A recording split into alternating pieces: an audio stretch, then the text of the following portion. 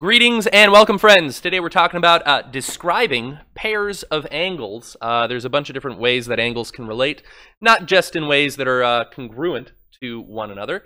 And uh, so pairs of angles can have special relationships, and the measurements of the angles uh, or the positions of the angles in the pair determine the relationship.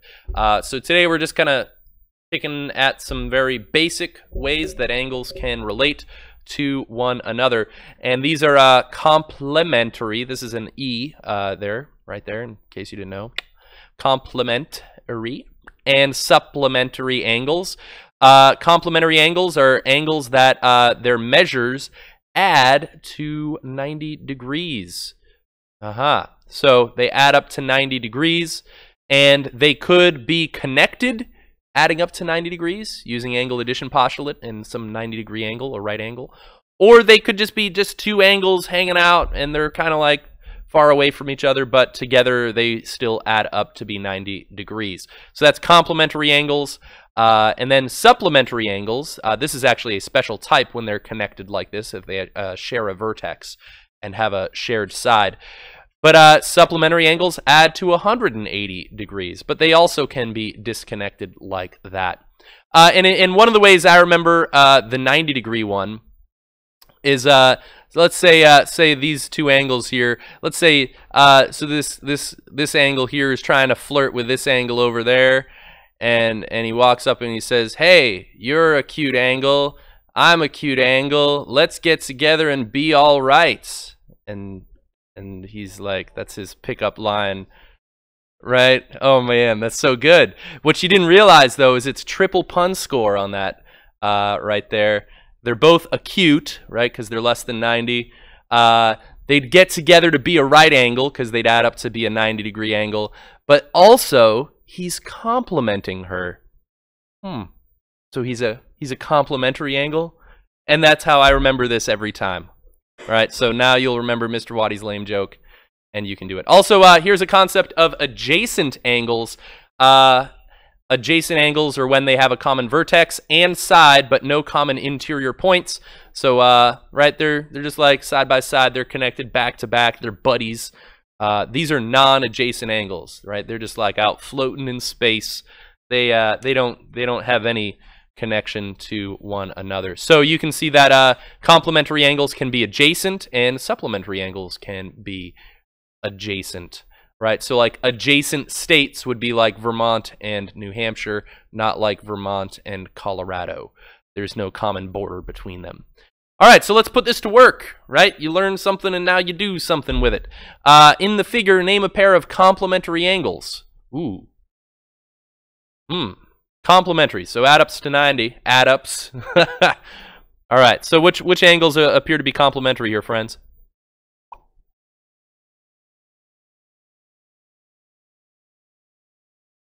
Yeah, the 53 and 37.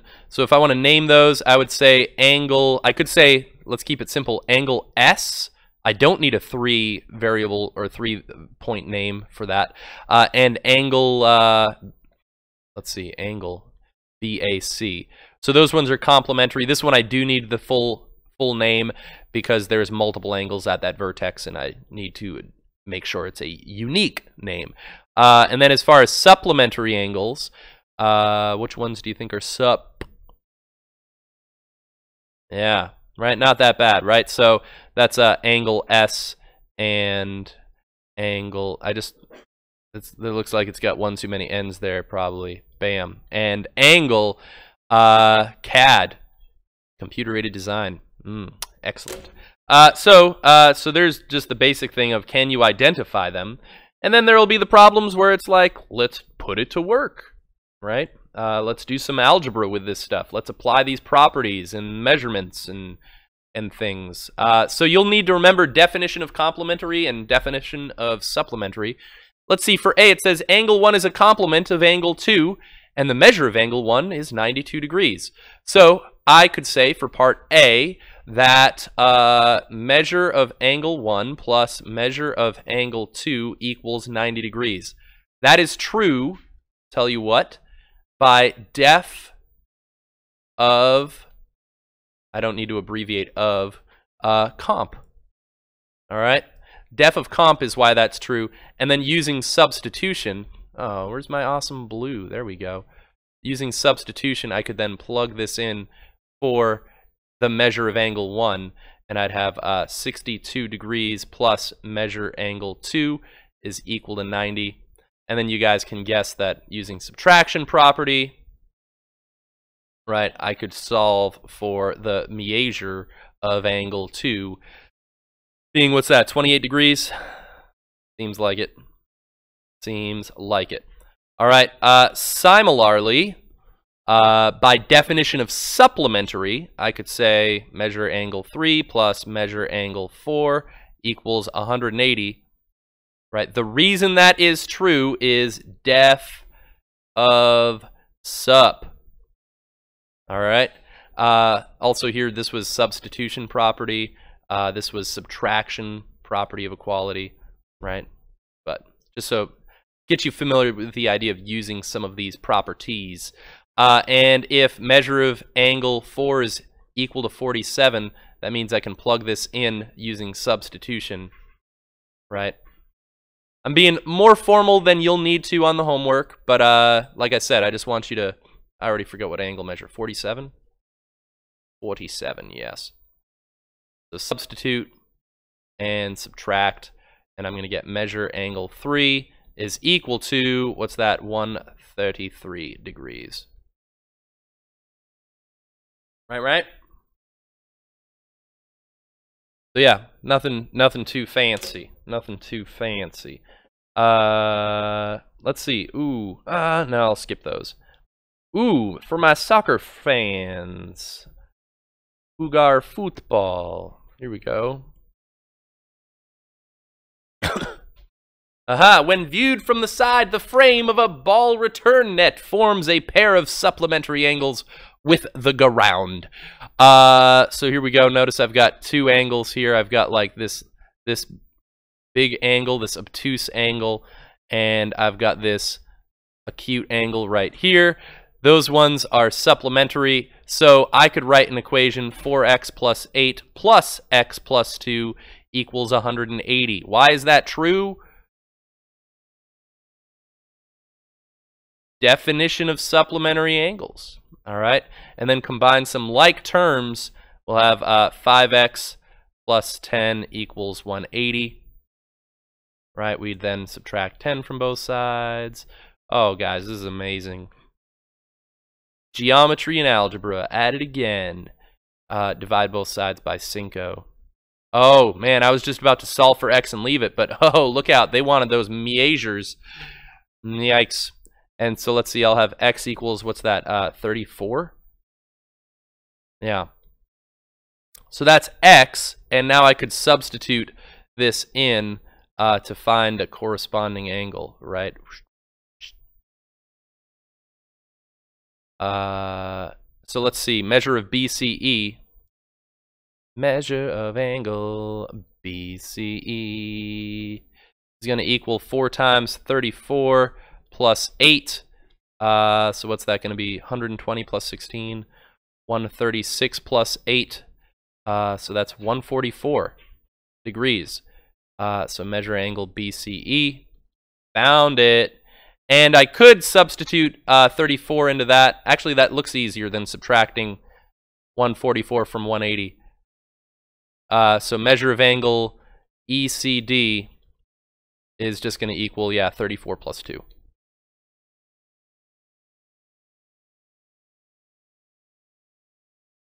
Right, and that was just like pretty much use the definition and and then do a little bit of algebra, right? So it's it's nothing too fancy. Nothing too fancy. And let's see, just for fun, here's here's awesome uh awesome soccer star guy. And he's all like, "What what what? Kick it." And then like 144 degree angle, refraction, bam. Right, and he's all he's all super pumped. Man, so amazing. Here, I'll just I'll just leave him right there. There. Now now you understand the problem. I just needed to relate it to reality. Uh, oh, additional terminology. Oh, guys, these are classic. These definitions are going to be showing up in our proofs all of the time. Todo de los tiempos. Linear pairs. I love it. I love it. Okay, two adjacent angles are a linear pair. So first of all, they're adjacent. That means they have a common vertex, common side, right? And they're non-overlapping, their interiors. Uh, and they are a linear pair when their non-common sides form opposite rays. Notice, so here's its non-common side and its non-common side, and they are just like the most opposite rays you've ever seen. They've got a common vertex heading in opposite directions. And this is a linear pair because there's two of them. So it's a pair, and it's a linear pair because they form a line, right? Like, they're the liniest of pairs. Uh, and so if they're a linear pair, then by definition of linear pair, they're supplementary, and by definition of supplementary, those two things add up to 180. All right, so you probably could have guessed that. They form a straight angle together, right? Angle addition postulate, yeah. Yeah, it makes sense. Uh, and then two angles are vertical angles um, when they form two pairs of opposite rays. So, uh, so this angle here and this angle here are vertical angles to one another. And uh, this angle here and this angle here are vertical angles of one another. Uh, they're, they're right kind of like opposite sides of an intersection. You could think about it like that. Uh, and then they said, yeah, their sides form opposite rays. And it was this side and this side opposite and this side and this side opposite rays. Uh, and I, I, happen to label these congruent, uh, which will end up being true, by the way, using the vertical angles theorem. But uh, but first, let's just right. Can you use the vocabulary? I can't wait until we get to like the more exciting geometry. I feel like it's it's a little slow at the beginning. It's just like terminology and notation. Identify all the linear pairs. So someone give me a, a linear pair here. So linear pair. What do you guys see? Yeah, what do you what do you spot? Uh, well, they're they're not they don't have an adjacent side. So 1 and 3 wouldn't work. 4 and 5. All right, angle 4 and angle 5. Uh Now, if if I had the terminology of linear triple, I could have said 1, 2 and 3 or uh, 2, 3, and 5. There another one in there, though, that's a pair? Yeah, what do you spot? Yeah, 1 and 4. Right, here's, here's the line.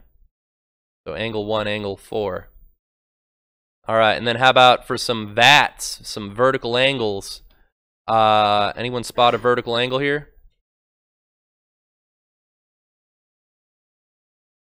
Angle 1, angle 5 right? Those are vertical angles of one another right there and there. Uh, how about angle 4 and angle 3? No. but whatever angle 2 and 3 is, if that had a name, that would be a vertical angle with angle 4. All right, but I don't have a name for it, so I won't I won't bother. I won't bother. Ha ha. Ha ha. Let's see. Uh, last example. And we're going to make it. I, I'm so pumped. All right, two angles form a linear pair. All right, so close your eyes. You imagine that. Two angles, linear pair. Yeah, got it. The measure of one angle is five times the measure of the other angle. Oh my goodness. So I've got two angles that form a linear pair. And then one angle is tiny, and the other angle is mondo. All right. That's kind of what we would have visualized. There's many variations of it, I suppose, but uh, so that's what we go. And then it says find the measure of each angle. Question, comment. Oh, you already did. All right. Well, we'll see if you're right. We'll see. So, uh, well, what's an equation I could write? Right, so 5x plus x equals 180. Uh, because these form a linear pair, by definition, they're supplementary. By definition of supplementary, right, they add up to 180. Uh, and now I could solve, so that's 6x equals 180. Uh, divide both sides by 6. Be feeling confident with your answer? Probably so. x equals 30 degrees. So if this is 30 degrees, uh, what's this one going to be? Yeah, 5 times 30. Uh, I guess I could write that out. So 100, hundred fifty degrees. All right. So uh, so there you go. All right. Well, thanks for watching, internet friends.